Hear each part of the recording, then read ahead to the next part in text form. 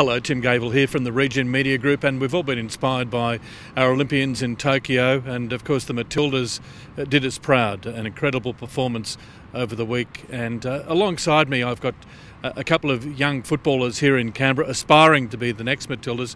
Jade Brown from Gungahlin, and also Brigitte Sander, also from Gungahlin. And as part of the quest, I guess, to, to play for the Matildas and get higher honours, they're heading across to the US on scholarship, as many an Australian player has done over the years. The first one is Brigitte. She's heading across this weekend. She's going to Concord University, and Brigitte, I guess it's it's the part of a journey for you, start of a journey for you. Exactly, yeah. Um, just like the next phase of my life, I guess. I um, I associate Gungahlin, I guess, with my high school experience, and it'll be exciting to start a new football club and you know study univer- at university. So yeah, next phase of my life, but I'm excited, a bit scared, but should be good. Are you excited by the, the prospect? I mean, it, it is obviously going to develop your football as well, isn't it? Yeah, definitely. I'm excited just to learn new skills and a very intense football environment, I guess. And I think that'll help me push as an push myself as an athlete, and to come back in the holidays as well and play for Gungahlin, and you know probably try out some new skills. I hope so. Yeah. Yeah. yeah. just on, I guess we've watched the Matildas, and you know, do you aspire uh, to be a Matilda? Um, as a young player, I did. At this at this moment, like I do, obviously, I hope, but um, I'm just more focusing on pushing myself as an athlete and like you know what the next step will be but definitely it could be in my future you know i don't want to cut myself off and say no but yeah no it'd be exciting though to, if i could become a matilda that'd be amazing what are your expectations heading across to the us um, i expect it to be challenged um, both academically and um, as an athlete um, and just like to have a great opportunity and experience. Um, I think it would be amazing, like once in a life, once in a lifetime opportunity. So yeah, I just. I, I have no idea what it's going to bring. I just know a lot of challenges, but I'm excited to see what happens. Yeah. Thanks, yeah, Brigitte. Uh, also alongside me is Jade Brown from Gungahlin. And Jade, uh, you're going to finish year 12 before you're heading across to the US, but um, obviously you've got a season to finish here in Canberra. Yes, I do. Um, I think it would be still exciting going over the end of this year. I get to finish the season here in Canberra, which is good, and it'd be really sad to see Briggsy go, but that's okay. Yeah. What are your expectations going across to the US, going to Mississippi um, once you finish year 12? Yeah, um, it was more for the experience opportunity. I didn't think it was going to happen. Um, but I think going over there, going for a new team, new coach, new environment, is going to be really challenging um, but really exciting at the same time. I think push myself as much as I can, see um, how good I can get, try new things.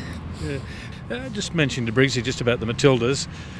Does it inspire you to, to take that next step? And uh, yeah, definitely. Um, I mean, who wouldn't want to play for the Matildas? Um, but it's more just seeing how it goes. Nothing's um, like set, so just yeah the next steps overseas and just seeing where it takes me and where it goes from there. What do you like about Gungahlin as a club? I love the environment, the people. They're just, it's like another family.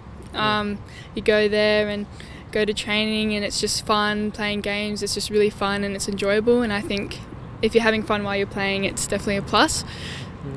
Good on you, Jade. Thanks for that.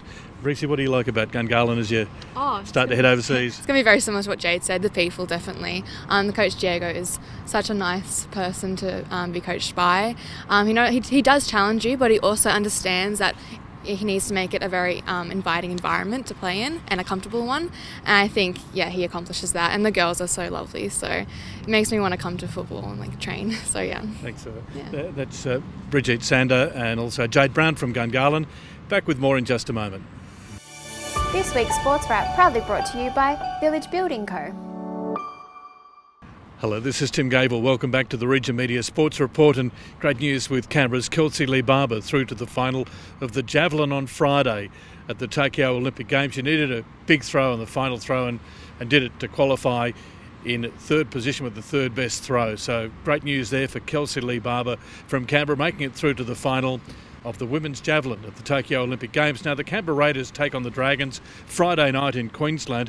A couple of changes. Elijah Anderson, one of the new players that came into the club at the end of last season, spent an off season in Canberra, a great young talent. He's coming off the bench this weekend. Sebastian Kris has concussion, and Matt Timoko will start in the centres. Ryan Sutton is back from injury as well. So the Raiders in equal eighth. They've got the Sharks, the Dragons, and Newcastle alongside them. So a massive game Friday night. Jarrod Croker, by the way, the third on the all-time NRL point scorers in the history of rugby league. He's going pretty well, Jarrod, isn't he? A lot of points there. In the Canberra Raiders Cup, Gungahlin and the Queanbeyan Blues, the top sides in the Canberra Raiders Cup.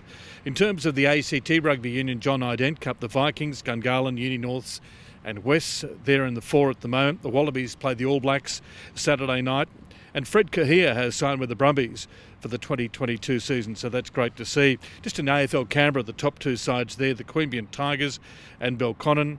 And as in terms of soccer, just heard from a, a couple of Gungahlin players. At the moment, they're in the four Gungahlin in the women's soccer here in Canberra.